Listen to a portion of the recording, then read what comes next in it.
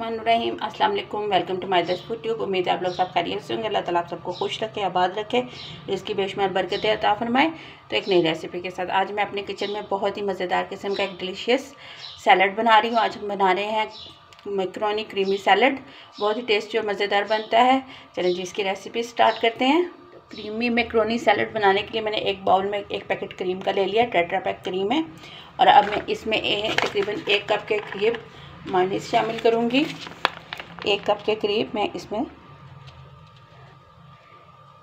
शामिल करने के बाद मैं इसको अच्छे से विप कर लूँगी मिक्स कर लेती हूँ। इंतहाई लजीज और मज़ेदार और डिलीशियस जायकेदार सैलड बनता है। बच्चों को बहुत पसंद होता है। हम शादियों पे भी जाते हैं तो सबसे पहले सब सैलड की तरफ़ तोज्जो करते हैं, खाना तो बाद में देखा जाता है। तो बिल्कुल हम वो इस टाइम में बनाने की कोशिश कर रहे हैं।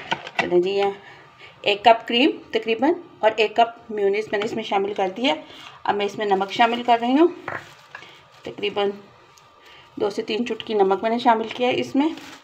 और काली मिर्चें ब्लैक पेपर इसमें शामिल कर रही हूँ। आप हंसपे जायका भी इस्तेमाल कर सकते हैं। मैं इसमें क्वार्टर टी स्पून के करीब काली मिर्चें शामिल की हैं मैंने इसमें।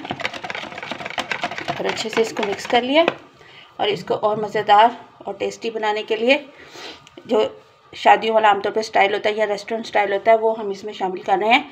चार चम्मच कंडेंस मिल्क के। चार चम्मच हैं ये। इसमें शामिल कर रही हूँ और अच्छे से इसको मिक्स कर लेंगे। इसमें हम चीनी नहीं शामिल कर रहे क्योंकि हमने इसमें कंडेंस मिल्क शामिल कर लिया। और बस इसको अच्छे से हमने बीट करना है। अब हम इसमें अपनी तमाम चीज़ें शामिल करते जाएँगे साथ साथ सबसे पहले मैं इसमें तकरीबन एक सेब शामिल कर रही हूँ। एक सेब, एक कप मैक्रोनी बॉयल्ड और एक प्याली मैं इसमें पाइन शामिल कर रही हूँ।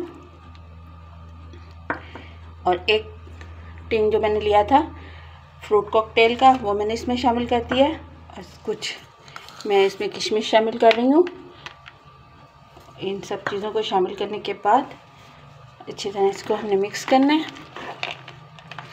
और लीजिए झटपट, हमारा क्रीमी मैक्रोनी सैलड रेडी है। अब हम माशाल्लाह से कितना ज़बरदस्त तैयार हुआ है।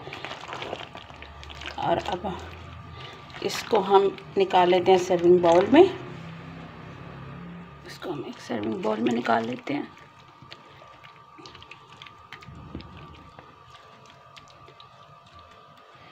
जी। और जो हाफ़ मैंने टिन बचा लिया था, फ्रूट का, वो मैं इसमें शामिल करूँगी अब ऊपर गार्निश के लिए।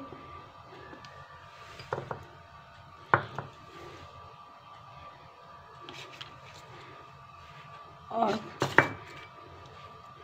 कुछ अखरोट लगा रही हूँ इसके ऊपर मैं।